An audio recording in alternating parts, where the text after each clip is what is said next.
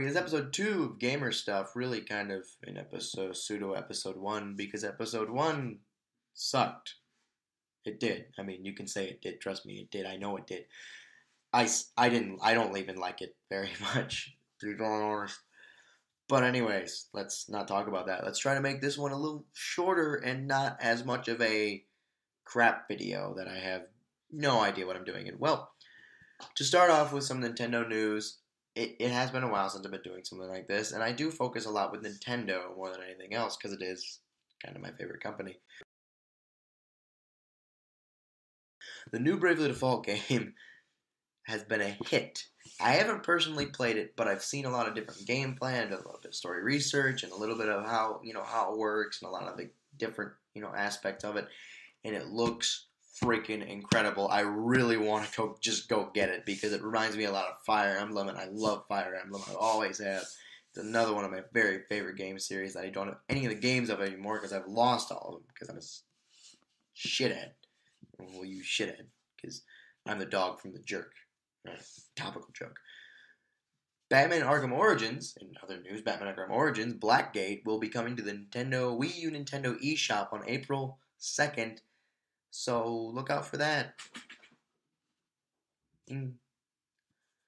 Uh, Tengami is coming to the, the Wii U eShop as well. Tengami's a game done by I completely forget his name. I'll link. It, it's on My Nintendo News. It's the February twentieth. Go and check it out if you want to. Tengami is is going to be on the Nintendo eShop, Wii U eShop uh, in June. But if you want an early play, go and check it out on the iOS. It drops today, so you know. I really, I really want to get a Wii U. In other gaming news, I do, as I said, I dwell a lot in Nintendo, but I just started a Minecraft Let's Play to stay out of the copyrights, the copyright strike surge that's been coming into YouTube. So I'm trying to keep my head on straight. I don't want to get attacked with a lot of stuff. But in some news with Minecraft, uh, the new Minecraft 1.7.5 update will allow for mini games, a few of which I didn't bother to memorize. They're right here, actually. Why am I saying I didn't bother to memorize them?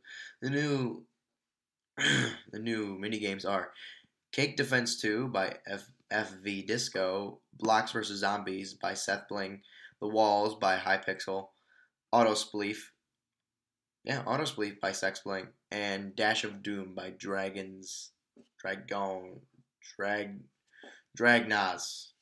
It's Dragnaz. Apparently, that's a guy's name. Dragnaz is a name. Well, the new and 1.8, on the other hand, will have a lot of new content coming out. There are going to be a number of new splash text coming. If you don't know what splash text is, it's just like white colored, like yellow colored text that comes up. It's just like pre-rendered text from from in pop culture. Uh, the difficulty will now be per world and can be locked to that said world or to any world that is locked into. You know, there are two new shades coming out. Shades are you know shades, kind of a color type of thing. They're creeper and spider. And a new achievement has been added as well. It is called Overpowered. It is obtained by crafting and enchanting a golden apple. But one stipulation is you must have the achievement getting an upgrade first. Link to the full article will be in the description below because it is a nice little article that you can read. If you're watching this way in the future, this doesn't matter to you. That's all I got for news, and it's no review today. And as I said, just kind of dismiss the other gamer stuff video because that one was just bad in my mind. It just did not give any any sort of leeway to how I can actually do this. So it's going to be a short video. It's not going to be a nice big long video like it was. That's what I wanted it. I wanted it to be a nice short video. But I'll see y'all in the next Minecraft Let's Play. So bye bye.